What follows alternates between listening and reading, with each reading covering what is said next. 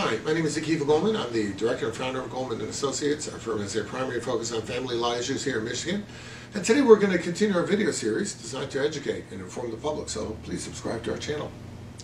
Very interesting question has been posed to us. Can I file for divorce in Michigan if my soon-to-be ex no longer lives here?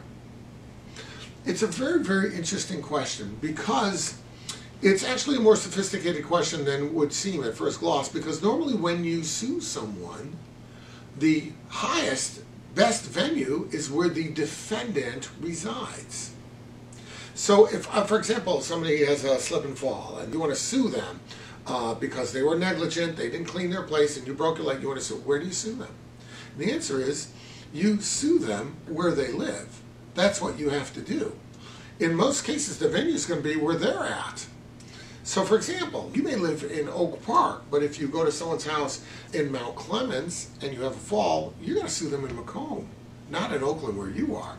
So the question here is, if my ex doesn't live in the state anymore, can I sue them in Michigan anyway?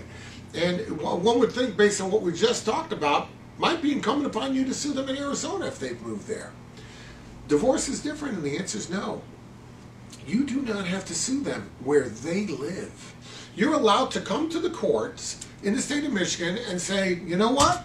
I'm a resident of the state of Michigan. I've lived in the state of Michigan for at least 180 days before I filed. I lived in this county for at least 10 days before I filed it in this county. I want a divorce. You're allowed to do that and serve the other side wherever he's at. And it doesn't matter. And he can't come and say, well, I'm in Rhode Island, so this suit should have been brought over in Rhode Island under the Rhode Island laws. No, not at all. As long as you meet our requirements, you may file it in Michigan. Now, it gets a little tricky when you're talking about children.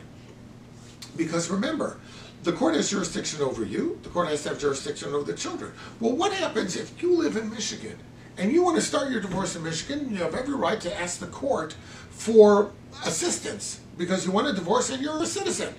You want the court's help in getting a divorce. What happens if you want to serve the guy in Rhode Island but the children live with him? That becomes complicated. Why? You have every right to sue here for your divorce, but the question becomes, does the court have jurisdiction over those kids? Admittedly, the court has jurisdiction over you because you live here.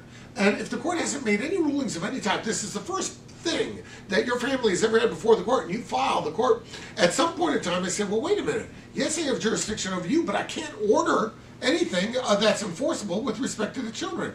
They don't live here.